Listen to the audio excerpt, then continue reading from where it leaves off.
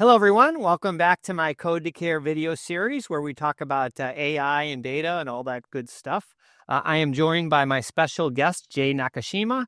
Jay is president of eHealth Exchange, one of our nation's national uh, networks. And we partner with Jay. We provide the technology that Jay uh, uses. And uh, Jay's organization has done a lot of amazing things to help interoperability. And we're going to talk about them in this uh, in this video. So maybe I'll start with you, Jay. Like, what problem did you did you solve, or did you sort of dedicate the last few years of your career? To? All right. Yes. Well, thanks for having me. Yeah. So, um, eHealth Exchange noticed a, a, number of years ago that providers needed to cr- create technical connections and trust connections with really, you know, with uh, 6,000 hospitals across the U.S. and a countless number of doc offices, laboratories, and pharmacies. And of course, scaling that, asking them to create those technical connections was a tall order. Mm-hmm. So providers want to connect with each other. Yep. Exchange clinical data. Um, and 6,000 of these, many tens of thousands of clinics, labs, blah, blah, blah. A point to point model is tough.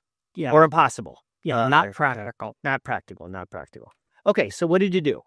Yeah, so eHealth Exchange implemented uh, InterSystems uh, tech platform uh, to create via a hub and spoke model. So what we did was we eh, we created this centralized tech platform, and we asked a sample provider, let's say a hospital here, hey, create one connection to eHealth Exchange, and then we will connect you to thousands of other trusted healthcare providers across the country. Okay. And the way it works is that this provider is seeing this patient. I'm going to draw the patient there. Okay. Um, and they ask you, do you know anything about Don Woodlock, let's say? Uh, and then you go out and talk to the rest of these groups, bring back a record for this provider. Yeah. That's basically the way it works. Exactly. This pull model. Okay, fantastic. And is it used? Does anybody use it? Yeah, it's used. So we have about 25,000 a billion, 25 billion transactions moving through this tech platform every year. And the number really seems to grow by the month. Um, so I wouldn't call it the I wouldn't call this issue solved, but I would say we've made tremendous progress um, over the years. Yeah, I would say. Yeah, I would say 25 billion. That's an amazing number. Yeah. So so when you look back, so what do you think is behind us? Um, and then what? Let's talk about what's ahead of us in terms of to do items. Yeah. So I think we've done a great job, not quite solved, but pretty darn close for provider to provider trust. Okay. So providers now trust um, that when they exchange data among each other, that it's going to be used responsibly. Mm-hmm. What we haven't done a great job of yet, but we've started making inroads, roads, is getting uh, data exchanged at scale for non-provider to provider use. Okay.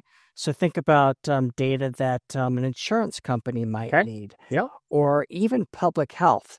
We've done a good job, not a great job, of getting public health the data they need. And we could discuss that during another segment if you're interested. Of course. Yes. Of course. Okay. So payers, you would say, uh, they're really not part of this picture yet. Yeah.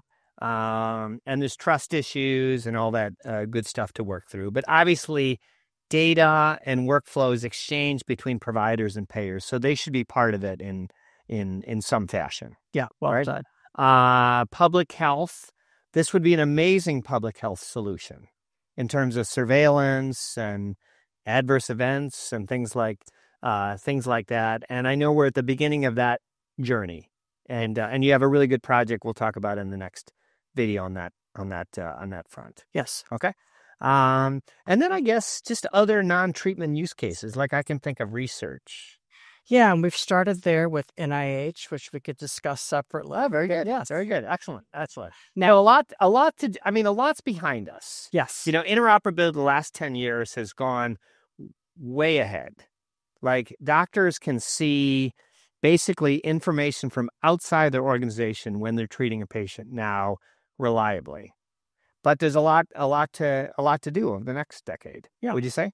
Yeah. Yep. The, the good news is we have the the architecture, we have the patterns, Mm.